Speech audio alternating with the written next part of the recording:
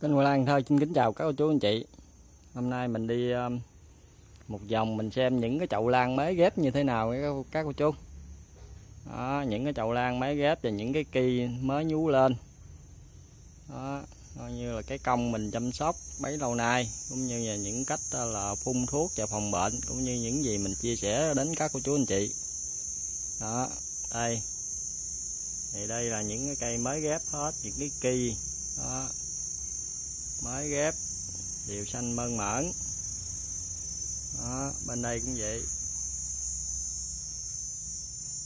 Đó, đây toàn bộ mới ghép hết các cô chú.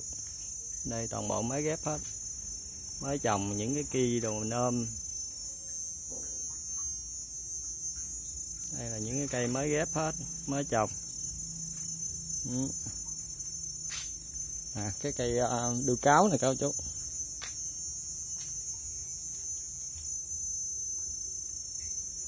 Táo này cũng nhiều cặp lá mà. Thần cũng lâu lắm á, cả năm rồi nè. Tuy nhiên, máng ở ngoài này nó bị nhện đỏ, chích quá các chú ơi. Một, hai, ba, bốn, năm, sáu, bảy, tám, chín cặp lá.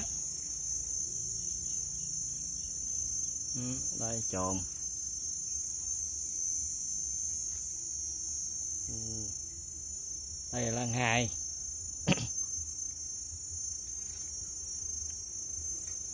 nói chung là cây ghép hiện tại ổn định có cây uh, hồ điệp.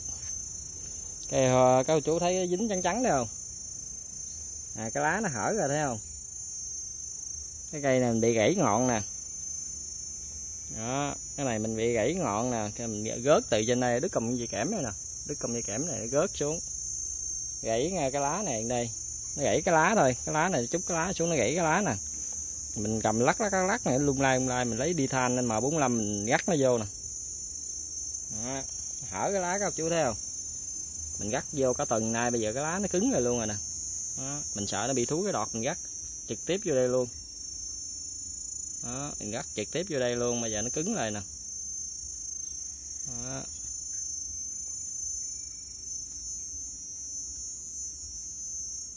đây cái trồn nè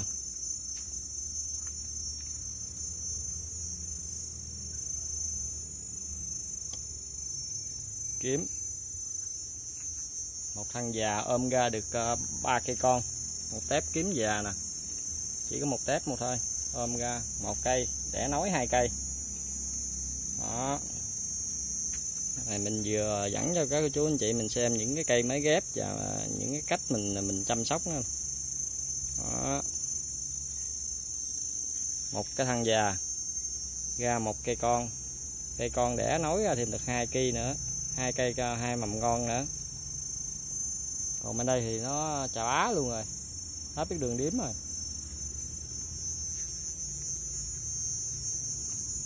Đây hoàn toàn những cây mới ghép hết.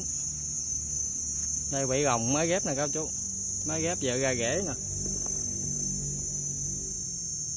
Đó, vợ ra rễ đó các chú. Đây cũng ra rễ nữa nè. Đó, rễ sinh đùm thấy không? Nào. Rễ nè. Quay đây nè, nhìn thấy rõ nè. Đó. Rễ gà non, còn non sinh âm trắng tư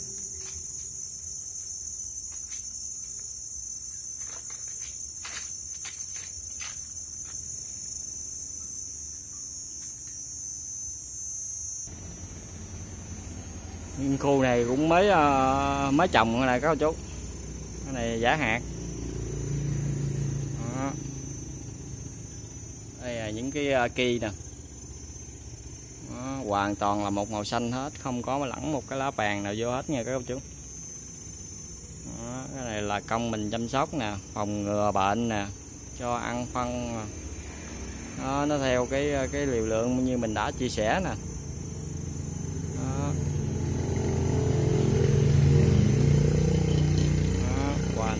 Xanh hết. Cái này à, những cái khu này là mới trồng lại không? Mới trồng lại không các chú?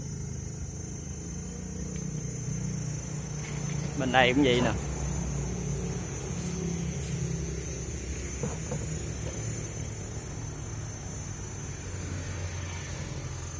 Bên đây nè. Những cái kia rất là khỏe mạnh, rất là lực luôn. Cái này cũng mới trồng luôn nè. Mới lấy về hai bụi trồng luôn. Mới trồng mà chiều hôm qua. Cái này nè, mới trồng chiều hôm qua. Tuy nhiên mình treo cũng hơi lâu rễ nó cũng mới ra rồi. Bên kia cũng vậy.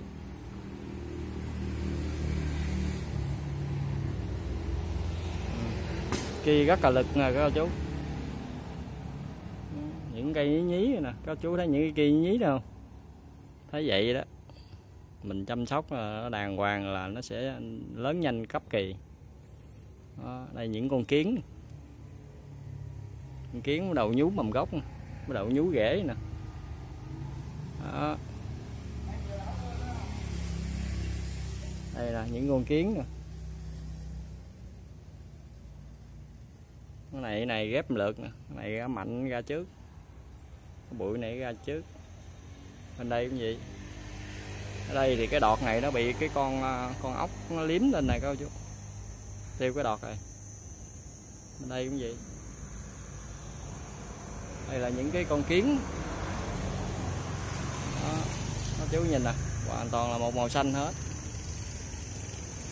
Cái này là mình chăm sóc nào phòng ngừa bệnh nào mình phun thuốc như những gì mình chia sẻ đến cho các cô chú anh chị nè. Đó những cái co kỳ như vậy á những cái cây mình trồng mới trồng gì thì nó chưa có ú đâu. Mình mới trồng rồi rễ nó chưa bám như giá thể nè. Đó. thì ở đây mình là vô cái mùa mưa rồi. Vô mùa mưa thì à, mình dẫn các các cô chú anh chị mình xem những cây mới ghép và mình treo lan như thế nào. Đó đây là một lớp lưới hoàn toàn là trên, trên một lớp lưới có độ hở để cho gió thoáng này các chú. Tại vì à, mùa mưa năm nay á, là cái gió quá dữ gió là thường thường gió tạt ngang trên ập xuống chụp chụp xuống. Còn này gió lòng từ dưới lên các chú nó đẩy cái đít chậu nè. Đẩy đây đây đẩy cái chậu lên nè. Là hôm qua mình về là nó quá trời luôn. Nó có một số cây là nó văng ra khỏi vàng này luôn móc này luôn. Mình hồi sáng anh mới bóp cái vàng móc lại nè. Bóp móc này nè các chú có chú bóp lại cho sát. Nó, gió có đẩy lên thì nó giật giật lên dướng lại vậy nè. Đó. Hôm qua là nó giật giật giật lên nè các chú đó, mình bóp móc lại hết. Đó, gió quá gió luôn phải bóp móc lại hết. Bóp cho nó chắc lại. Để thời gió mình để lông đậm gió giật nó giật vậy nè. Nó giật nó lòng mà từ dưới đất nó lòng lên giật nó đưa lên vậy là hỏng khỏi cái móc này khỏi cái, cái cây này là nó văng xuống dưới đất. Qua mình về là quá trời luôn. Qua giấc chiều là gió khủng khiếp gió. Gió mà đẩy hai mươi mấy căn nhà hai mươi mấy căn nhà ở kế mình cách mình mấy cây số đẩy hai mươi mấy căn nhà à, tóc nóc hết đèn có chú cây cối gì ngã gạp hết. Ở Cần Thơ. Ghê thiệt. Đó. Những con kiến này nè mình nuôi đi mình nuôi rồi mình dùng à, à và ít phân tăng chậm nè rồi mình để phân hữu cơ đồ vô các chú. Ở dưới à, ở dưới cái lớp dưới á, mình để lớp phân hữu cơ nằm dưới đó, đó mình để một lớp ở trên đây khi rễ nó bám xuống bám xuống nó thọc ăn xuống dưới là rễ nó ổn định rồi là nó có chất dinh dưỡng nó bám luôn. À, nó ăn luôn. Đó kết hợp với phân tăng chậm trên đây mình vẽ ít rồi thôi các chú thấy có mấy viên thôi. Khi nào mà cây nhiều á mình mới gãi. Còn ở đây rễ nó chưa ra ổn định mình chưa gãi nữa nè. Nhưng mà ở dưới đây nó vẫn có lớp phân hữu cơ. Khi khi rễ nó ra ổn định nó ăn xuống dưới là nó có chất dinh dưỡng sẵn luôn. Đó. trồng đơn giản vậy thôi hoàn toàn là phân hữu cơ phân bò hoặc phân dê gì qua xử lý đó các chú để lớp ở dưới hoặc phân tăng chậm cũng được. À, phân phân tăng chậm thì các chú để dưới nữa khi rễ nó ăn thọc dưới là cái phân học phân đó nó nước nó thấm nước nó mềm rồi nó mềm ra rồi cái đầu là nó bớt đi cái độ nóng rồi là rễ nó ăn là cực kỳ tốt luôn. Đó, những con kiến là các chú nhịn đầu nè. Đầu. Cái này là phi đẹp các vùng miền các chú. Mua ở vùng này vùng kia vậy đó. Về mình trồng những con kiến nè. Cao hoàng có eso có đủ thứ hết trơn. À, các chú nhìn nè. Hoàn toàn là xanh hết không có một màu kể cả dòng đơn thân luôn. Dòng đơn thân ghép cửa ghép trụ nè. Ở đây cũng vậy nè. Chú thấy không? Đó là trước khi vô cái mùa mưa là mình phải cung cấp cho nó đầy đủ chất vinh uh, dinh dưỡng đa chung vi lượng như mình đã chia sẻ. Đó, kế tiếp đó là một tháng ít nhất mình phải phòng bệnh cho nó là là là ít nhất là cũng phải hai lần. Đó, nắm bệnh. Đó, phun thuốc nắm bệnh đó. giờ trên thị trường nó bán thiếu gì mình thấy cái nào hay thì mình cứ dùng thôi.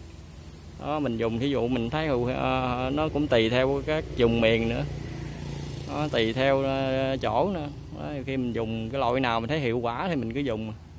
Đó, mình dùng thí dụ ờ, dài năm bảy tháng năm ba tháng gì đó mình đổi cái thuốc lần.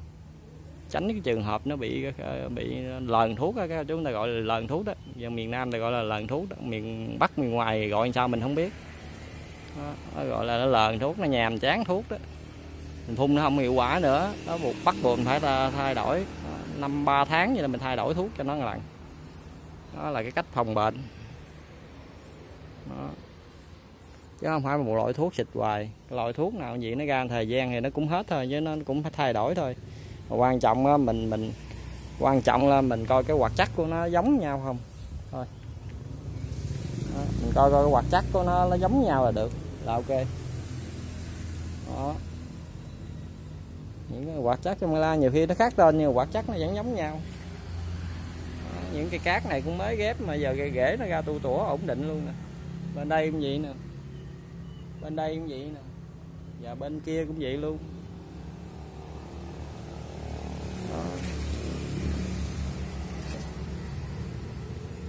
Hoàng thảo quạch đỏ nè. Dễ ra ăn bám giá thể hết. Đây là những cây ờ, dengo giống mới ghép luôn. Nói chung toàn bộ khu này là mới ghép hết. Mới ghép ờ, mới ghép có là một số ghép ổn định rồi có. Mới ổn định thôi chứ chưa ổn định hẳn. Hoàn toàn là một màu xanh hết.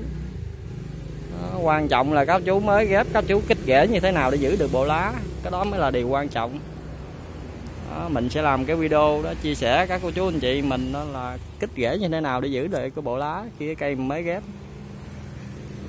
Chứ các chú thấy nhiều người à, nhiều người người ta trồng tại sao người ta ghép lên ta ta vẫn kích rễ vẫn xử lý như mình cũng vẫn một loại thuốc như mình mà tại sao là cũng người ta không bị xuống lá không bị vàng lá. Đó, cái nào cũng có cái chiêu của nó hết.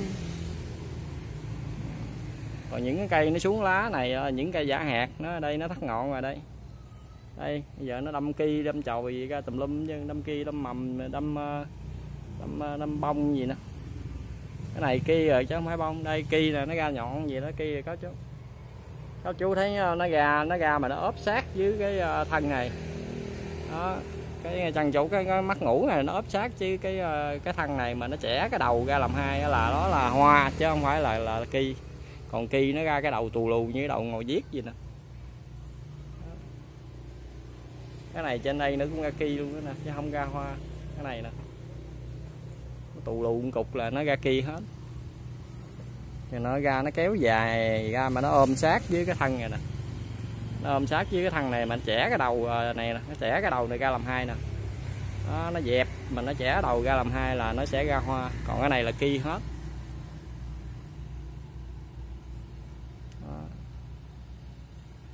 rồi hôm nay kênh Lan Thơ là dẫn cô chú à, đi dạo một vòng xem những cái cây mà mới ghép là những cây à, là là ghép à, vừa mới ổn định. Và mình cũng nói sơ bộ thêm một cái vấn đề, số vấn đề đó để các cô chú mình mới tập chơi, mình tham khảo. Đó. chú anh chị mà yêu mến kênh Hoa Lan Thơ, hãy nhấn like nhấn đăng ký nhấn vào cái chuông và chia sẻ tạo động lực kênh Hoa Lan Thơ nha. Xin chào và hẹn gặp lại.